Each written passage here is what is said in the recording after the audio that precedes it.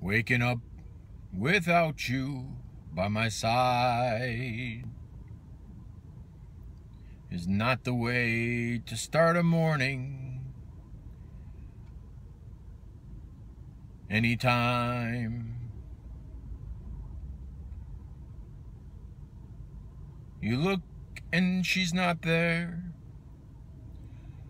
you know she's out there somewhere waking up without you it's kind of crappy. Waking up in the morning without you by my side makes getting ready for work just want to sigh.